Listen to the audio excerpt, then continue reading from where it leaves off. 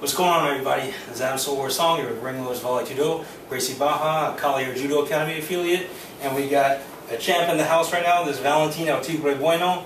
He was a um, national MMA amateur champ. He had two pro fights, moved away for a little while, got himself uh, back together, and now he's here again to train. So, Valente. Bueno, estamos aquí para regresar, estamos listos y empezaremos el entrenamiento para jugar otra vez. So we'll see you guys in videos, and then we'll see you on the mat, we'll see you in the cage, and see you at tournaments.